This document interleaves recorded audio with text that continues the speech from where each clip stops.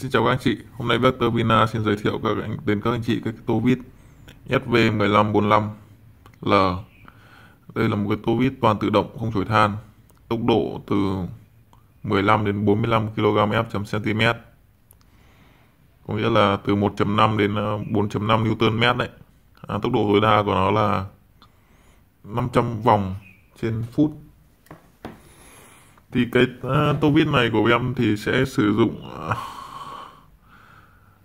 Ờ, nguồn vào là nguồn 110 đến 260V có nghĩa là ờ, nhà máy của anh chị nếu mà dùng điện 110 hoặc là 220 đều có thể sử dụng được mà không lo ờ, uh, cắm nhầm điện gây cháy nổ. Và nguồn ra của nó là nguồn DC 24 32V 2.5A thì cái nguồn DC ra nó rất là nhỏ nên là nó sẽ đảm bảo an toàn nếu xảy ra sự cố thì cái uh, tô vít này nó sẽ có hai tốc độ này. Khi mình để uh, mình để sang phần uh, tốc độ cao ấy, hai thì nó sẽ là điện ờ, uh, 30V và tốc độ của nó khi này sẽ là 500 vòng trên phút. Và khi để sang lâu thì nó sẽ, sẽ nguồn ra của nó sẽ là 24V và tốc độ của nó sẽ là 350 vòng trên phút. Thì cái tô vít này nó sẽ sử dụng cái à, mũi vít của nó là mũi cỡ 6.35 à, tại vì là lực của nó lớn mà à, mũi cỡ lớn thì nó sẽ không bị uh, gãy.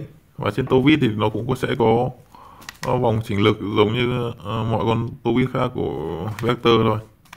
Chúng ta muốn đặt lực siết nào thì chúng ta sẽ chỉnh đến lực siết đấy và có thể xác nhận bằng các cái dụng cụ đo và đây là dòng toàn tự động nên là khi mà siết đến cái lực siết mình đặt trước máy sẽ tự động dừng lại.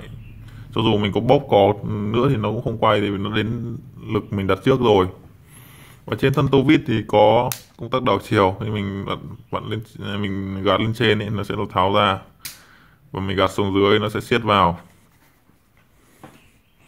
Và có công tắc khởi động khi mình muốn ờ, siết thì mình sẽ ghi công tắc tự động và tô vít sẽ hoạt động.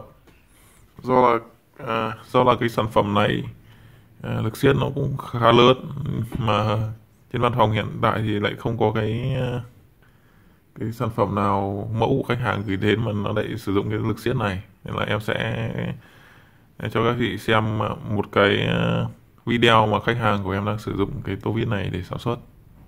Rất mong được uh, hợp tác cùng anh chị và quý công ty. Xin cảm ơn ạ.